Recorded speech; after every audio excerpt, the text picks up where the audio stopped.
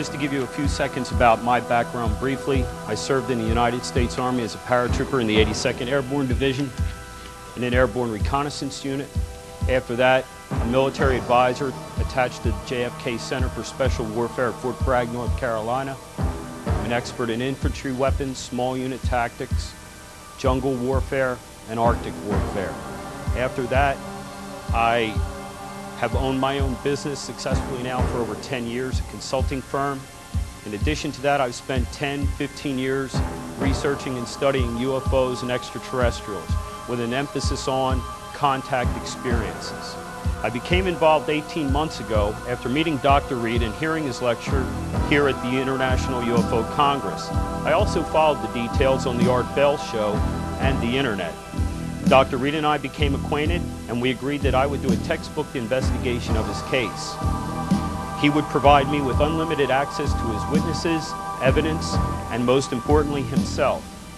I would document my findings and then publish the results.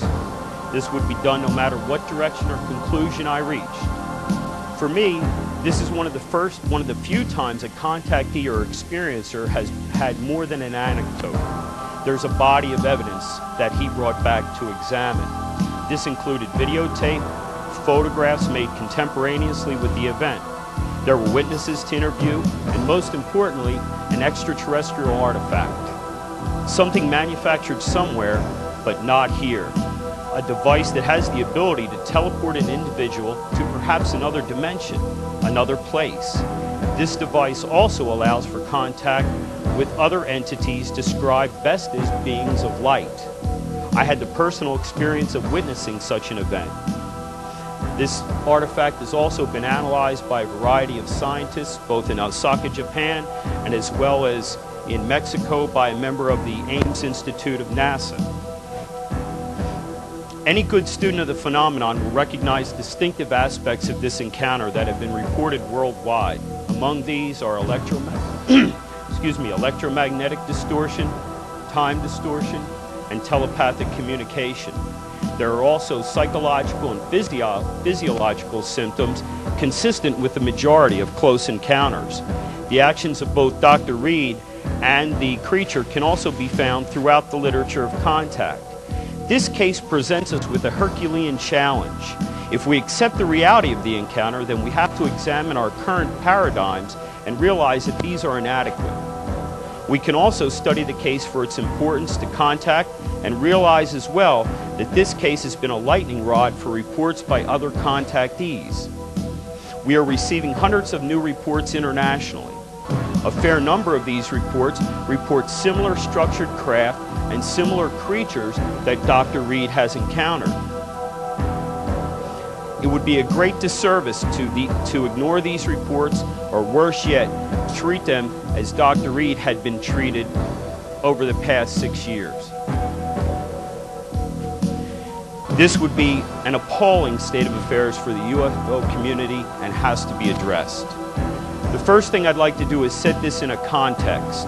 On a database of over 100,000 cases covering the time period from 1831 to present, there are over 2,300 strictly from the state of Washington where this occurred.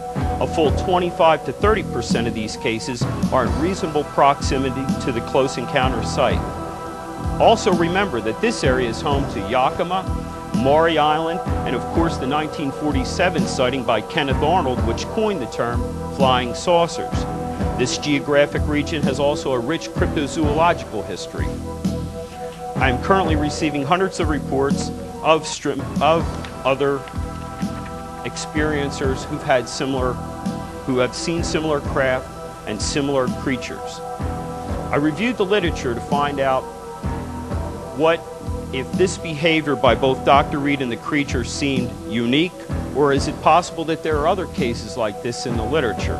And with that, I found that J.U. Perian in Phenomena Space U did a review of 198 cases of EBE human contact.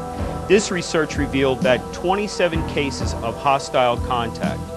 44% of these cases involved alien aggression. 30% involved human aggression. 11% an actual fight, and 15% accidental violence, all of which occurred in this case. In 1980, 1980 M. Moravec studied the physiological reactions to close encounter events from Australia. The results of this were as follow, and also these were reported by Dr. Reed in his encounter. 70% fear, 15% curiosity, 9% amnesia, and 7% anger. And there are also hundreds of documented in instances of UFOs that do something to provoke aggressive behavior. In his book CE5, Richard F. Haines reports on 59 cases of overtly hostile human behavior. The author Aimé Michel said in 1958 that the visitors never displayed fear under any circumstances. And in Clear Intent, George Fawcett wrote, when confronting UFO occupants, bone-rattling fear and blind panic become the order of the day. And these are all exist in this case. So I set about to do a couple of things, a review of the physical evidence, an analysis of the tissue and the blood samples, film and negative authentication, a full review of the video and still photos. We actually we examined the actual cameras used, and there were a number of site anomalies. There are environmental changes, and to some extent, today, that site has been reconstructed. There is facial and eye movement clearly visible in, in the video, and it will become more apparent when Jaime shows part of his video. You'll be able to see the slit-eyed pupil move back and forth across the eye, as well as the facial muscles contracting as this happened. This is an early report of self-healing material in terms of the suit that the creature wore. We did a site visit and recreation as well. The other area I wanted to cover was witness testimony. I've interviewed over 30 witnesses. All these interviews were either documented by audio tape, videotape, or contemporaneous notes. Hundreds of hours of interview time have been logged. I've interviewed four professors from UCLA and San Diego State who participated in his educational process, five fellow students, three hospital employees, a security guard, three co-workers, two Photoshop employees, two of his family members, a biologist, one professor of pathology, an environmental scientist, Dr. Reed's landlords, special effects professionals, videographers, photographers, and other well-respected UFO researchers and investigators. It was also important for me to have unlimited access to Dr. Reed, where I spent hundreds of hours examining him, interviewing, and observing him using both direct and cross-examination techniques. Also, unbeknownst to Dr. Reed at the time, I subjected him to voice stress analysis on the telephone, in person, asking him over a long period of time many questions to develop a profile. And I can tell you that that profile does not show an attempt to deceive. It shows highly emotional, but no attempt at deception and I can make these reports available. In addition to that, and probably most importantly, was the extraterrestrial artifact, the Link bracelet. But let me just briefly go over some of the interviews that I conducted, some of the more important ones that I think you'll find interesting. In June of 2000, I interviewed a retired college professor from Southern California. He was an instructor during Dr. Reed's PhD program at UCLA. The advantage I had here, both with he and Dr. Reed's family members, was that I was able to interview them in their home settings, where you can get a real feel for other things, little details. And that was very important to me.